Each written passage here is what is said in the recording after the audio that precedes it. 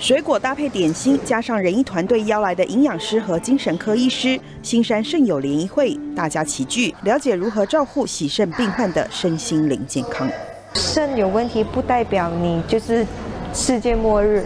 嗯，还是可以像正常人一样吃一般的食品啊，只是说我们在摄取量方面，我们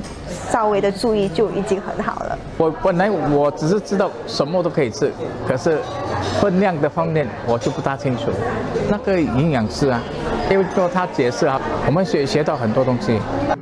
牺牲病人不仅要吃得健康，仁医会林心志医师也为肾友们带来新能量，让他们知道在面对疾病时该如何调整心态。喜肾的啊病人啊，他们啊很多时候呃都有情情绪方面的一些问题，是需要很多人的支持啊一些情绪方面的一个去处理，这样子的话才能够啊度过这一个这么啊这么艰难的一个啊这样的关卡。Since I receive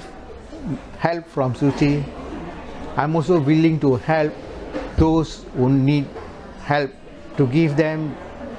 the things they need to come out of their unhappiness and do a, have a normal living.